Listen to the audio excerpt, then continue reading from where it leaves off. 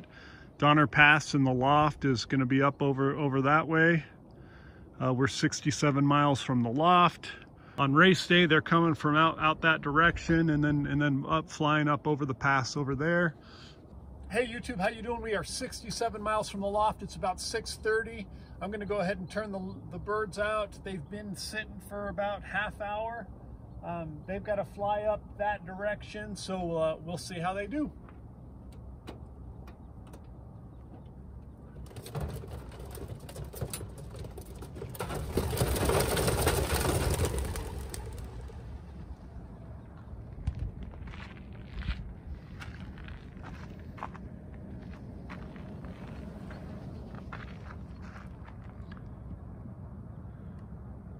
Okay, home is out that way, up over, over the pass.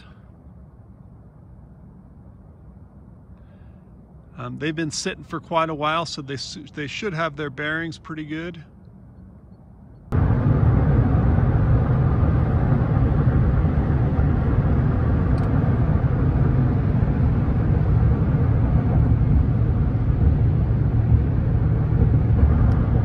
Clear skies, it's been uh, it's been an hour and a half since we let them go. It's eight o'clock.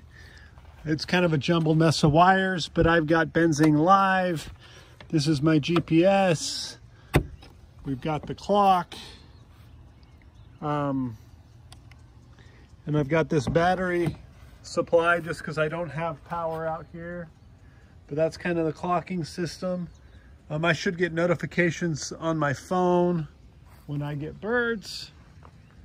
Um, and I expect them within the next half hour or so. All right, one, two, three, four, five, six, seven, eight. Looks like eight birds. Maybe nine.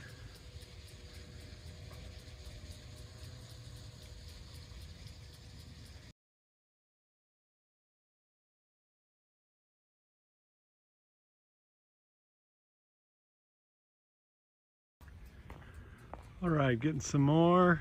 Looks like three more.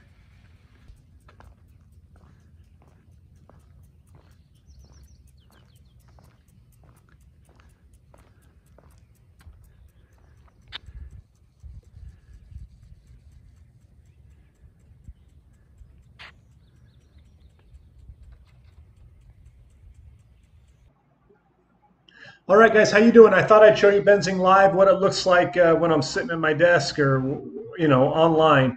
Um, these are my last three training tosses. I can click on my trainings down here. It'll pull up the training tosses where I've, I've been using the system.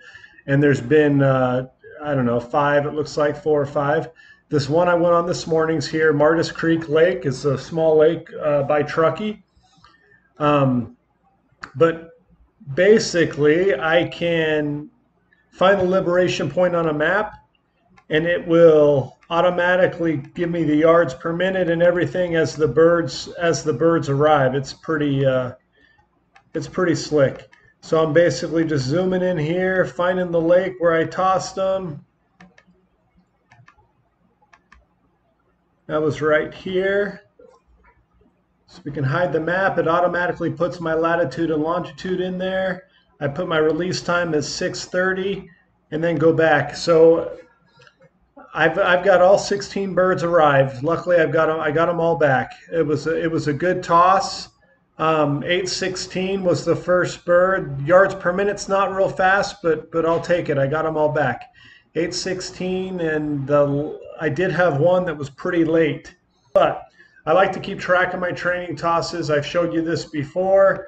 Google Maps here's where we are. This was the toss, 60, whatever, 8, 69 miles, whatever it was. The blue line's going to be my first race down to the loft. I did 18 tosses. Um, I'm, I'm happy with that. I did get them over. This is kind of Donner Pass here, those granite cliffs you saw in the video. I did get them over that, so that's happy. I'm happy about that, um, just so they won't experience the first time on race day. And the last thing I want to show you, Google spreadsheets. These are all my training tosses. Being I only have uh, 16 birds, this isn't a big deal. But if you had a 50 bird team or a 60 bird team and you had to select whatever, 15 or 20 birds you were going to send to the race, this is kind of how I, I, I keep track of that. Um, it's basically the trapping order from the toss. It was only a 41 mile toss, and I just had their trapping order.